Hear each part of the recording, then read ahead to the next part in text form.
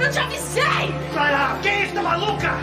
Para de prejudicar, você pode prejudicar a sua vida, a minha, da sua filha! Eu minha desgraça sua! Eu quero te mandar por sempre! Ai! Você enlouqueceu, Clara! Ai, me dá essa espada! Então, tá, então, se você machucar meu filho, você vai se ver comigo! Eu te entrego pra polícia! Ah, sai! Sai!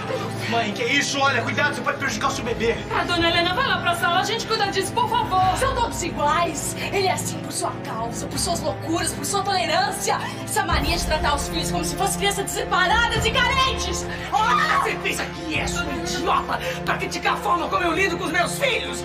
Sua mãe incompetente, até pra uma menina de dois anos!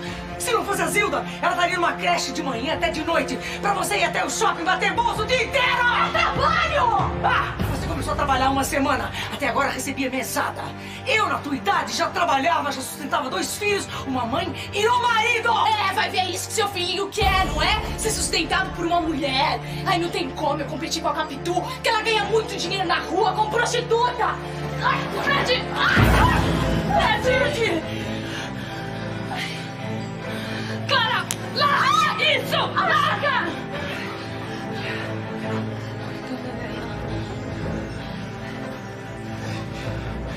Que não fosse pela Capitu, nosso casamento hoje estaria chegando ao fim. Fui atrás de pouco advogado, Clara. Nosso casamento acabou. Acabou pra sempre! Eu quero que você se dane! Eu tenho alguém que se interesse por mim! Não é igual a você, não um bocão, um pé rapado! É um homem maduro, rico, que me trata como uma princesa! Bom pra você! Enquanto você tava lá no seu advogado, eu fui visitar o apartamento dele. Um apartamento lindo, com cobertura, piscina. E ele me fez gozar, gozar muito, como você nunca me fez! E você ainda tem coragem de abrir a boca contra a Capitu?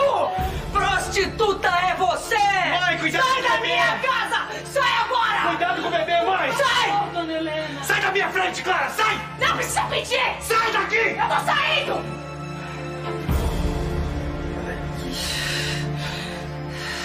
Teve algum sangramento? Não. Não poderia se aborrecer dessa maneira, Helena. O que foi que nós combinamos? Para enfrentar os problemas dessa gravidez de risco, você ia levar uma vidinha calma, tranquila, sem problemas, seguindo a risca o que nós combinamos, Helena. Eu sei, eu sei, mas eu não tenho sangue de barata, não é? Mãe, você tem que lembrar que além de estar esperando um filho, tá esperando com ele salvar a vida da Camila. Eu sei, Fred. Eu não esqueço disso um minuto sequer. Mas é que eu não aguentei ver aquela menina te ferindo, falando aquelas coisas horríveis. Ah, Bem, Helena, graças a Deus está tudo normal. A pressão está normal, os batimentos cardíacos do bebê também. Não houve sangramento, está tudo sob controle. Mas eu vou fazer um toque vaginal. Eu vou precisar que você dê uma licencinha. Eu preciso ficar sozinha com a mamãe. Claro. Zilda, fica lá com a Nina. Amanhã eu falo com ela, explico que eu vou viajar, que, que eu vou ficar um tempo fora. Tudo bem. E você vê se se acalma, viu, Clara? Que o que você fez não foi nem um pouco legal. Nem com a dona Helena e muito menos com o Fred. Falar tudo que você falou, ainda machucar o rapaz. Ah, Zilda, eu só falei a verdade, tá?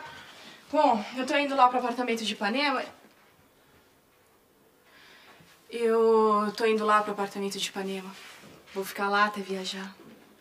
Faça a gentileza de não aparecer e nem ligar. Estamos liberados pro que der e vier. Chamou o elevador, Bira? Sim, senhora, já está aqui. Tudo bem, desce, coloca a bagagem lá no carro que eu já vou. Tá bem, dona Clara. Bom, eu vou cuidar da Nina. Vocês dois comportem-se, viu? Que se alguma coisa acontecer com o bebê da dona Helena, nossa, Deus me livre, eu não quero nem pensar no negócio desse. Não queria que terminasse assim. Você queria que terminasse de qualquer jeito, isso sim. Olha, Fred. Eu fiz um esforço pra ver se dava certo, mas. Não deu. Não tô com ódio porque nós nos separamos. Foi bom enquanto foi. Há muito tempo já não era. Sabe, Fred? Logo depois que nós casamos, depois de um ano, eu percebi que a vida que você queria me dar não era a vida que eu queria. Quando eu saí da casa dos meus pais, eu queria viver bem. Porque lá eu vivia muito bem. Eu dei a você tudo que eu tinha. Pena que você não tinha nada. Eu tenho ódio. Por quem você tá me trocando? A Capitu é mais honesta do que você, porque nunca traiu ninguém. Ótimo. Pois fique com ela e sejam muito felizes. Você também, Clara. Eu quero que você seja muito feliz. Olha, Fred, você pode fazer a sua festa de casamento no Maracanã. Para receber todos os fregueses de cama da Capitu.